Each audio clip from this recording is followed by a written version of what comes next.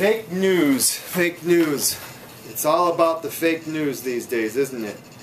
I made a podcast and I might start doing that more again. I'll leave that link down below.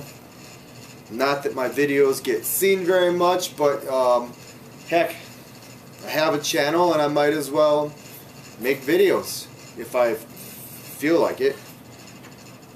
And um, I have my other channel that I put my music videos on, and I spread my music throughout the internet.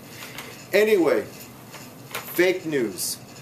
Now we have the loser of the 2016 presidential election pretty much leading a crusade against fake news.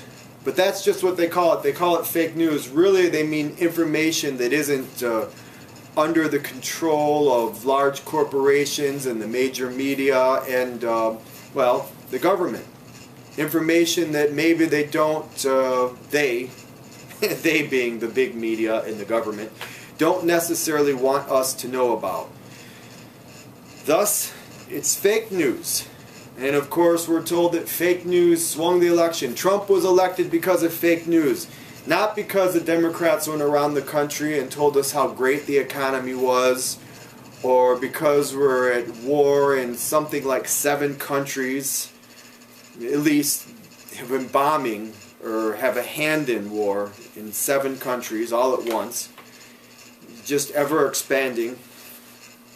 No, and these aren't the reasons that, you know, not because uh, people of every status, people who have master's degrees, people who have bachelor's degrees, people who have high school educations, what have you, not because they are struggling to survive. Many of them have uh, jobs that are very uh, minimal. Some of them are unemployed, underemployed, whatever.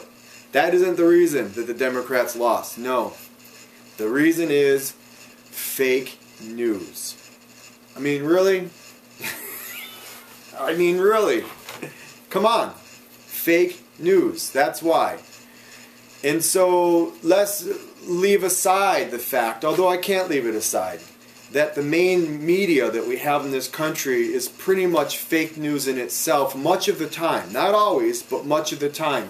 Especially when they want to promote a war, like the Iraq War with weapons of mass destruction or the list goes on back through time you know to the back to the Gulf of Tonkin back to when the Maine blew up in uh, the harbor you know and uh, th this means we had to go to war with uh, Cuba and then mysteriously you know conquer the Philippines all at the same time pretty much going back to Teddy Roosevelt and his wonderful great Rough Riders on some hill you know, uh, you know, so it goes on and on.